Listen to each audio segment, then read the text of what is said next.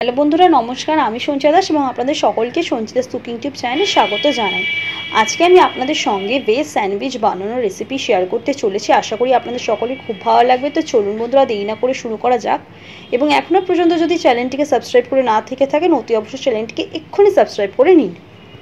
আজকের উপকরণ আমি এখানে নিয়েছি টমেটো, ক্যাপসিকাম, গাজর, পেঁয়াজ, লঙ্কা এবং ব্রাউন ব্রেড আর নিয়েছি মাখন, গোলমরিচের গুঁড়ো, সাদা তেল এবং লবণ। গ্যাসের ওপর কড়া বসিয়ে তার মধ্যে সাদা তেল দেব। তেল দিয়ে ভালো করে কড়াটা গরম করে নিতে হবে। কড়াটা ভালো করে গরম হয়ে গেলে তার মধ্যে কেটে রাখা ক্যাপসিকামগুলো দিয়ে দিতে হবে। দিয়ে নাড়াচাড়া করে নিতে হবে সামান্য কিছুক্ষণ। তারপর গাজর দিয়ে সামান্য কিছুক্ষণ নাড়াচাড়া করে নেব। স্বাদ অনুসারে লবণ দিয়ে উভয়কে আবারও ভালো করে নাড়াচাড়া করে এক মিনিটের জন্য ঢাকা বন্ধ করে রেখে দেবো।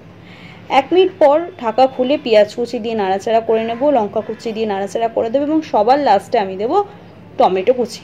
দিয়ে নাড়াচাড়া করে নেব, আপনারা এখানে কিছুটা পারলে হলুদের ব্যবহারও করতে পারেন। দিয়ে নাড়াচাড়া করলেই কিন্তু রেডি হয়ে যাবে আমাদের আজকে স্যান্ডউইচের পুর।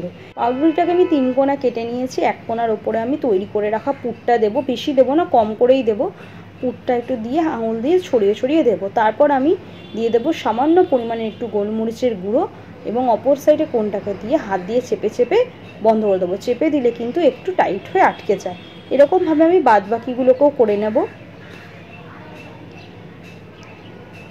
এবার কড়াটা গরম করার মধ্যে আমি দিয়ে দেবো হচ্ছে মাখন। মাখনটা দেওয়ান গলে যাবে। কড়ার আশেপাশে সাইডগুলোতে একটু লাগিয়ে নেব।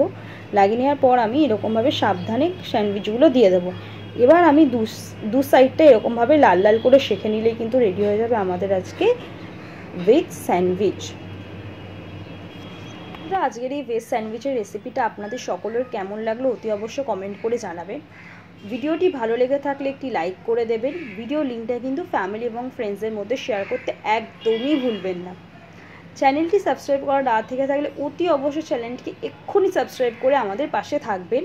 দেখা হচ্ছে অন্য একটি ভিডিও নিয়ে। আশা করি আপনারা সকলে খুব ভালো থাকবেন। ধন্যবাদ।